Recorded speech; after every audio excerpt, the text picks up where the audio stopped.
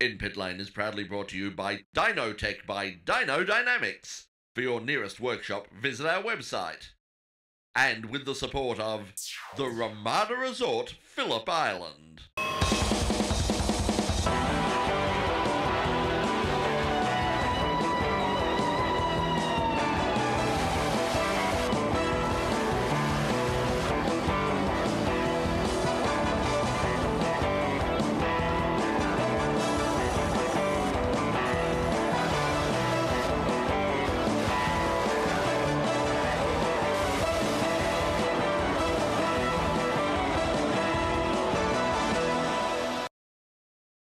Well, coming up, as I said, in a couple of weeks' time out at Sandown International Motor Raceway is the Sandown 500, and in addition to the uh, to the big V8 race, will be, as I said, a big support cast, including the po- very popular V8 Utes. Joining us in just one moment will be one of the top drivers in V8 Utes. He is Gerard McLeod. Also to discuss uh, issues Formula One and other international racing. Joining us once again from ABC Grandstand's Box of Neutrals program, which can be heard before every Grand Prix on ABC Grandstand Digital. He is Rob James. Gentlemen, welcome to In Pit Lane. No worries. Thanks for having me. Thank you very much, Brett. I can also confirm at Sandown I will be, uh, well, you know, uh, J- Gerard or Ryan? I, Gerard. I always confuse your brother. Um, Well, that's a good start. Yeah, exactly. I always try to run through these things during the break. I will be eating the potato cakes. I mean, it was a, the joke wasn't worth it. I'm sorry. I got your name no, wrong halfway all right. through. All good. That's it. Well, potato cakes aside, let's start before we head out to out to Sandown and talk about that. Let's let's talk about the the elephant in the room at the moment, Formula One.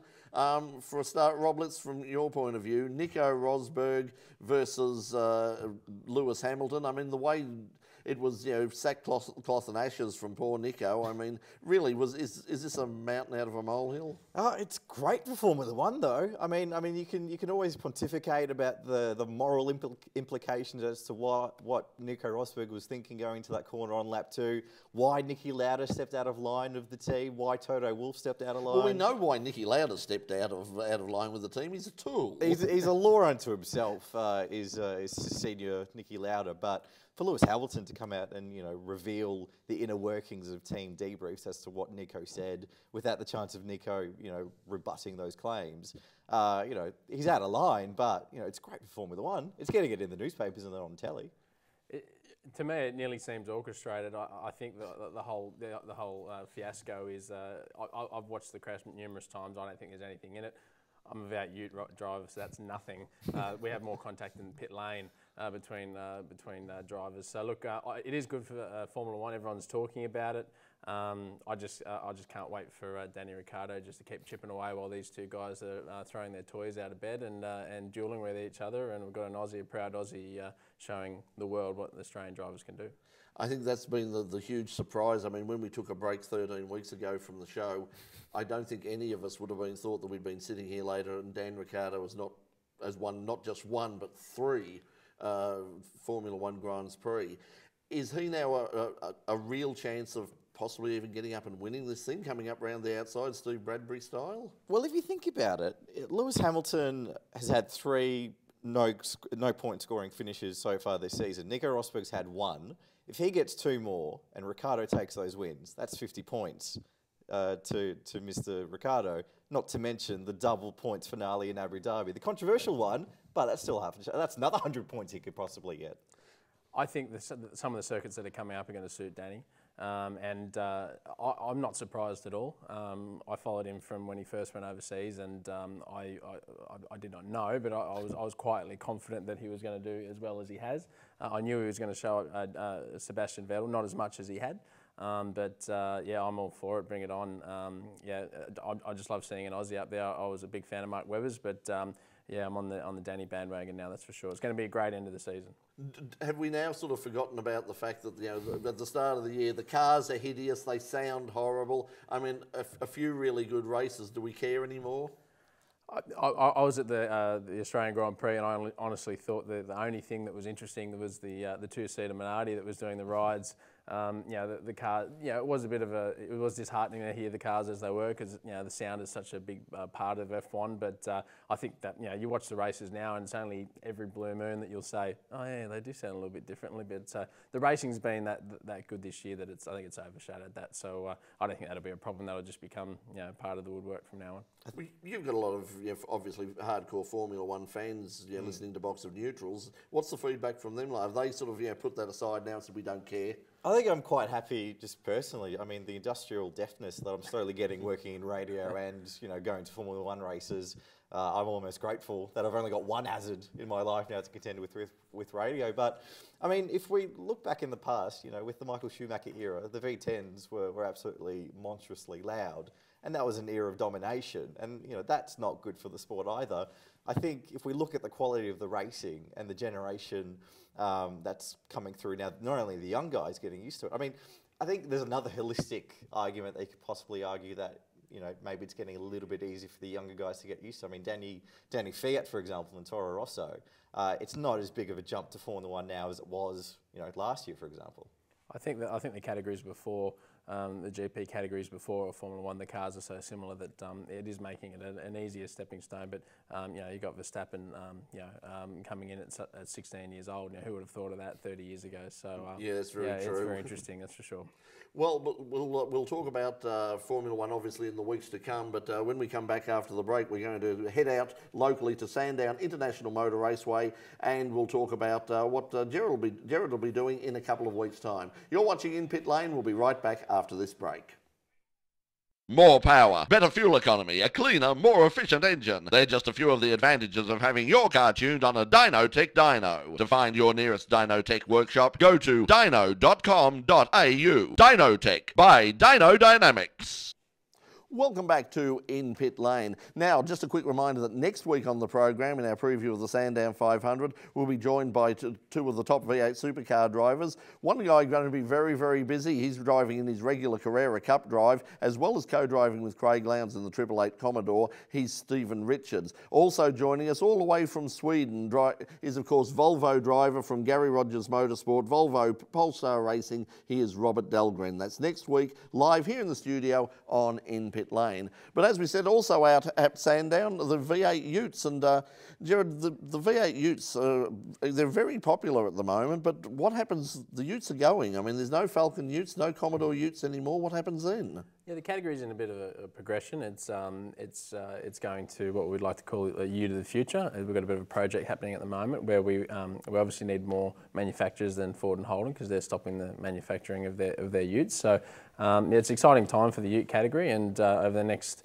uh, 12 to 18 months, you'll see um, you know uh, uh, cars being made, um, and there's tenders going out for building processes and stuff like that. So we'll have um, Nissan Navaras and and uh, Holden Colorados and uh, um, you know, I'll have a, a, a, like a silhouette uh, kind of chassis, um, you know, and uh, it's sort of going to make the, the racing a lot closer. And so will they be more, in, in terms of appearance, will they be more like the Craftsman trucks that we see in Yeah, NASCAR? yeah, they will be. Uh, it's, it's a little bit unknown at the moment because it's all sort of being kept in house. Um, little bits of information are being um, being put out, but uh, for the time being, we're still racing the current cars and and, uh, and getting underway with that. But uh, exciting things in the future with the V8 Utes, and obviously we need to uh, progress with you know how the markets are progressing out there in the in the marketplace and with, with cars. So um, yeah, I, I'm all for it, and anything to to uh, to strengthen um, what is an already popular category, um, is a good thing.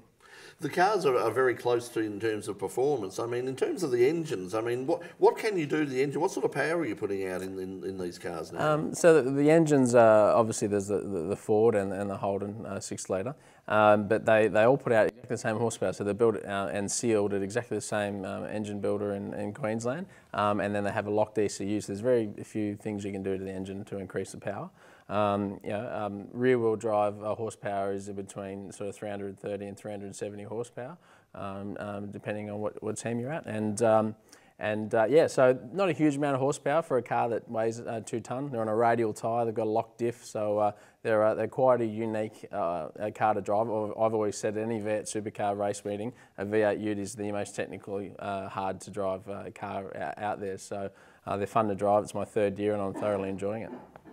So out at Sandown, uh, what's the what's the format of the race out there? The usual format, or do you have something special? Um, no, uh, usual format, three races. We've got a reverse grid race in race two. So uh, the winner of race one picks uh, a, a, ball out of a, a, number out of a hat, and uh, and uh, we go reverse gridding. So we always want to be in that in that top bunch to, to get the inversion. And Sandown delivers really cl close racing, obviously, because it's sort of, sort of only really a four corner track. Um, it's handy for me because I only live about three streets away, so I can go go home for a shower in between races. Um, You're not one of the people complaining about the noise, no, no, I'm fine, I'm fine. But uh, no, so it, it, always delivers really good racing. Uh, it's my home track, um, uh, as with a lot of other drivers, and uh, yeah, can't wait to get out there. So uh, uh, we usually have an F1 style qualifying format. Um, but because of uh, time restrictions, um, uh, F1 style is in um, top 10, uh, top 30, top 20, top 10 um, and there's cut-offs. But uh, we're back to just uh, the one 20-minute session where um, the fastest time is the fastest time, which will suit me a little bit better. So uh, yeah, can't wait to get out there. It's going to be great.